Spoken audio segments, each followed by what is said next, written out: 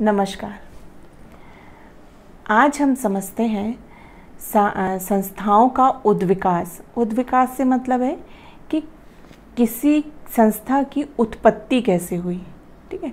कि starting point से last तक उसके विकसित संस्था के रूप में आने तक किस किस स्तर से गुजरती है। तो संस्थाओं का उद्विकास के बारे में अमेरिकन समाजशास्त्री समनर ने अपनी पुस्तक जनरीति में उसके बारे में बताया है। तो आइए हम समझते हैं पॉइंट वाइज कि संस्थाओं का उद्विकास किस तरीके से होता है। तो सबसे पहले तो संस्था का प्रारंभ, सर्वप्रथम व्यक्ति की आवश्यकताओं को पूरा करने का, उसके मन में जब विचार आता है, एक विचार आता है, तब उसको वो क्या करता है? आवश्यकताओं को पूर्ति करने के लिए उसको कार्य करेगा। अपनी आवश्यकताओं को पूरा करने के लिए कुछ कार्य करेगा। तो उस चीज़ का विचार आना, ठीक? उसके बाद क्या होगा? धीरे धीरे जब उस कार्य को बार बार करने की आदत बनेगी उसकी, किसी भी व्यक्ति की या किसी समूह विशेष की, उस जो विचार उसके मन में आया है, उसको बार बार करेगा और वो आदत के रूप में परिवर्तित होगी। फिर क्या होगा कि पुनरावृत्ति से जब उसकी उपयोगिता देखने को मिलेगी कि व्यक्ति सोचेगा कि ये आदत इसकी बार बार पुनरावृत्ति होगी या बार बार उस कार्य को किया जाएगा तो उसकी पता चलेगा कि कितनी उपयोगिता है उसकी समाज में, कितना अच्छा कार्य किया जा सकता है समाज के लिए।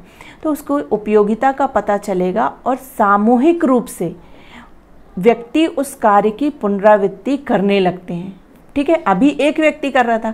फिर जब उसकी उपयोगिता पता चली तो क्या होगा? सामूहिक रूप से व्यक्ति उसकी पुनरावृत्ति करने लगेंगे और वह बन जाएगी जनरीति। ठीक, फिर है, जब इन जनरीतियों को समाज मान्यता प्रदान कर देगा है ना? और ये जनरीतियाँ एक पीढ़ी से दूसरी पीढ़ी में हस्तांतरित होंगी, क्योंकि उसकी उपयोगिता लोगों को पता चल गई है। तो वो जनरीति ज़ाहिर सी बात है, एक पीढ़ी से दूसरी पीढ़ी में हस्तांतरित करेंगी, और जब ये एक पीढ़ी से दूसरी पीढ़ी में जाएँगी तो वो हो जाएँगी प्रथा। ठीक?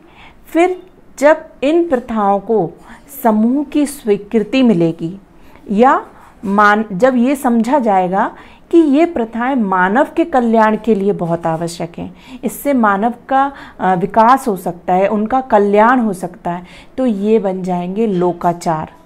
फिर, जब इन लोकाचारों को एक व्यवस्थित संरचना, एक कार्य प्रणाली विकसित होगी, कार्य करने का तरीका विकसित होगा कि इन कार्य को किस तरीके से किया जाए, नियम बनेंगे, ट्रेडिशन बनेंगे तब वह संस्था का रूप ग्रहण कर लेंगे। इस प्रकार संस्थाओं का विकास या संस्थाओं की उत्पत्ति पहले व्यक्ति के मन में विचार आता है, फिर वो आदत बनती है, उसके बाद जनरीतियाँ बनती हैं, उसके बाद वो प्रथाओं के रूप में परिवर्तित होती हैं, फिर वो लोकाचार बनती हैं और फिर लास्ट में वो संस्था का रूप ग्रहण कर लेती हैं।